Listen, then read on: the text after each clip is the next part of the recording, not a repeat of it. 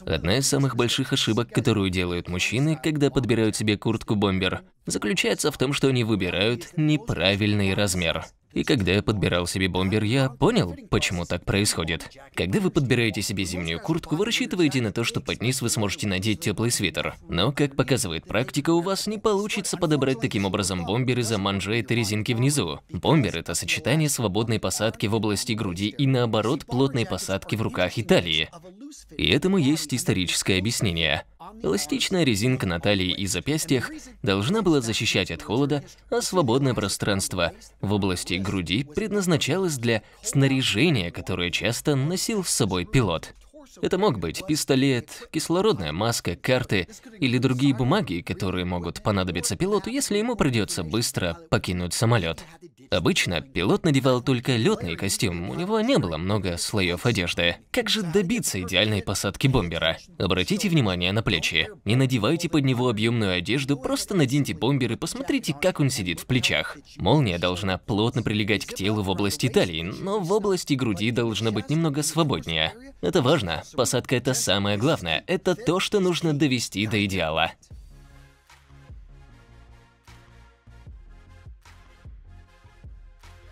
А теперь немного истории. Существует различие между летной курткой и бомбером. Бомбер – это разновидность летной куртки. К летным курткам относится все от курток модели А1 до курток модели А2, курток моделей B3, B6 и даже G1. Но в сегодняшнем видео мы сосредоточимся на бомбере модели А2, той самой кожаной куртки, которая является иконой стиля уже почти 100 лет. Да, господа, эта куртка была разработана в 1930-х годах для воздушного корпуса армии США. Им нужна была куртка, в которой пилоты могли бы летать на больших высотах. Куртка модели А1 была недостаточно хороша. Она не соответствовала существующим стандартам, поэтому была создана модель А2. И это подводит меня к следующей ошибке, которую совершают мужчины, когда дело доходит до бомбера. У них его даже нет в гардеробе. Многие думают, что это просто модное веяние. Господа, эта куртка существует уже почти 100 лет. Да, у нее есть свои плюсы и минусы. Да, если вы купите себе хороший классический бомбер, который хорошо выглядит и сидит на вас, то могу с легкостью заявить, что он будет в моде еще 50 лет. Небольшая историческая справка, кровавые талоны бомбер модели А2 были очень сильно связаны. Что же такое кровавый талон? Это часть военного снаряжения, которую пилоты всегда имели при себе, когда совершали вылет в стране, где не владеют английским языком. В нем просилось о предоставлении безопасности пилоту и вознаграждении для человека, который нашел пилота. Кровавые талоны впервые применялись британцами в Первой мировой войне, но во Второй мировой войне они стали известны благодаря летающим тиграм. Летающие тигры – это американские летчики, которые отправились в Китай и участвовали в китайско-японской войне до того, как Соединенные Штаты официально вступили в эту войну. На этих кровавых талонах было написано по-китайски «Я американец, мой самолет уничтожен». Я не могу говорить на вашем языке, японцы мои враги, пожалуйста, дайте мне еды и отвезите меня на ближайший военный гарнизон. Вы будете вознаграждены. Если вы вдруг окажетесь на барахолке или в секонд-хенде и найдете бомбер с кровавым талоном, то сразу хватайте его. Это очень редкая и ценная вещь. Итак, господа, если вам понравилось данное видео, вы любите немного исторической справки и классическую мужскую одежду, то нажмите кнопку «Нравится». Следующая ошибка, которую совершают многие мужчины, когда пытаются подобрать образ под бомбер, заключается в том, что они неправильно подбирают брюки. Существует масса вариантов, и я не говорю, что один вариант лучше другого. Вы можете надеть чиносы либо джинсы, но не шорты. Но многие мужчины предпочитают брюки карго. Не делайте так, пожалуйста. Карманы есть и в бомбере. Также не рекомендую зауженные и наоборот свободные джинсы. Возьмите лучше джинсы прямого кроя, можно даже чуть укороченную модель. Можно надеть свободные джинсы, но не совсем шаровары, потому что такую куртку не получится сочетать совсем. Возможно, лучший совет, который я могу дать вам прямо сейчас, и его можно применить к любому типу одежды, это смотреть на себя в зеркало в полный рост. Это позволит вам лучше рассмотреть свой образ. И это то, что нужно делать, когда примеряешь бомбер, потому что он сидит свободно в области груди, но более облегающий в области талии и в запястьях. Из-за этого можно неправильно подобрать штаны, особенно если они свободные или наоборот узкие. Это может испортить весь образ. Опять же, повторю, джинсы прямого кроя, может быть, немного укороченные или немного облегающие, но никак не зауженные. Давайте поговорим о формальности. Бомбер – это повседневная одежда. Даже в военных кругах он считается повседневной одеждой, особенно если у вас есть нашивки на нем. С левой стороны бомберы обычно располагаются нашивки, если вы служили в ВВС США. Если вы служите в военно-морском флоте, нашивки будут располагаться здесь. С правой стороны нашивки эскадрильи. В военно-воздушных силах или по-другому в диванных войсках их меняют в зависимости от того, в какой эскадрильи служат. Ладно, я шучу, я люблю ВВС. В военно-морском флоте наоборот, они присоединяют нашивки в зависимости от того, в какой эскадрилье служат, потому что каждые пару лет обычно они меняют эскадрильи. Поэтому можно увидеть нашивки, идущие вниз в ряд. В целом все, с чем вы носите бомбер, будет повседневным образом. Допустим, вы носите его с рубашкой, и у вас есть серые фланелевые брюки. Вам нравится ваш внешний вид и как это сочетается, но из-за этого ваш образ потеряет деловой стиль.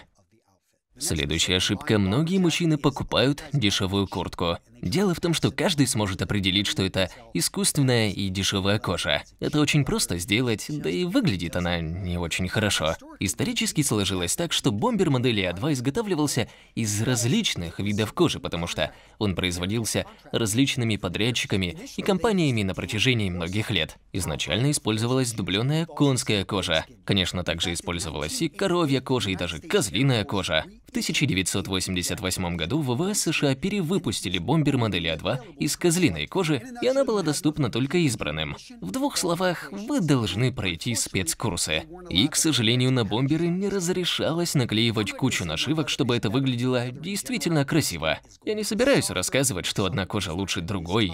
В целом, козлиная кожа мягче, эластичнее, но она не такая прочная. Мне очень нравится коровья кожа. Конская кожа будет намного жестче и толще, но в любом случае убедитесь, что это кожа, а за ней нужен уход. При уходе даже через 50 лет она будет хорошо выглядеть. Следующая ошибка – это неправильный выбор цвета. И это относительно просто. Выберите тот цвет, который уже есть в вашем гардеробе. Вы хотите, чтобы бомбер сочетался со всем, что у вас есть. Большинство бомберов, которые вы увидите на улице, будут коричневых или темных цветов. И опять же, возвращаясь к тому, что они выпускались на протяжении многих лет разными производителями и были разных цветов, также и с кожей. Каждая куртка будет отличаться друг от друга. Но нет ничего плохого в том, чтобы купить черный бомбер. Если все куртки и пиджаки в вашем гардеробе черные, обувь черная, вам действительно нравится этот цвет, то носите его, потому что, выбрав подходящий для вас цвет, вы сможете носить его с уверенностью, потому что вы знаете, как он на вас смотрится. Я уже говорил об этом ранее, но я хочу убедиться, что вы запомнили, про что я говорила именно не надевайте много слоев одежды под бомбер. Исторически сложилось так, что люди просто надевали его под летный костюм. Мне нравится носить его с рубашкой Хенли футболкой, либо с футболкой с длинным рукавом. Под ним должно быть что-то легкое, потому что, на мой взгляд, так бомбер будет смотреться очень хорошо. Если наденете много одежды, то руки будут выглядеть большими и вам будет жарко. Нужно понимать, что это не зимняя куртка и она не подходит для минусовой температуры. Зимой нужно носить парку. Я считаю, что бомбер это легкая куртка и нет ничего плохого в том, чтобы иметь легкие куртки в своем гардеробе, особенно для тех, кто живет в Калифорнии или, может быть, в Техасе. Да, я знаю, что иногда в Техасе бывает холодно, и вы не готовы к этому. Но иметь такую куртку – это просто великолепно. Вы надеваете ее, вы выглядите прекрасно и чувствуете себя комфортно. Если вы много времени проводите в дороге, то это отличная куртка, потому что она эластичная, она ничего не задевает, когда вы садитесь в машину и выходите из нее. Часами можно похвастаться, да и вообще он выглядит классно.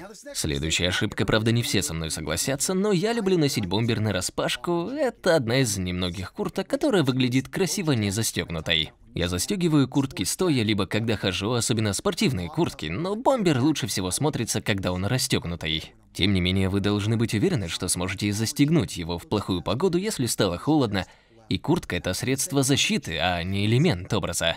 Но когда речь идет о том, чтобы хорошо выглядеть в куртке, если, например, вы собираетесь идти на встречу с женщинами или друзьями, мне очень нравится, когда она просто расстегнута. Это беспроигрышный вариант. Кроме того, мне очень нравится, когда образ состоит из однотонных вещей и не перенасыщен различными узорами и цветами. Образ с бомбером самодостаточен, я думаю, такой образ будет выглядеть хорошо и не будет привлекать внимание, поэтому не нужно надевать рубашку, которая бросается в глаза. Выбирайте простые темные цвета. Это простой и красивый образ. Итак, какое видео стоит посмотреть следующим, как насчет другой классической вещи пилота – шарфа и как его правильно носить. Многие мужчины даже не пытаются носить шарф. Джентльмены, пилоты и многие другие люди на протяжении многих лет носят шарфы. Советую посмотреть это видео и узнать много нового.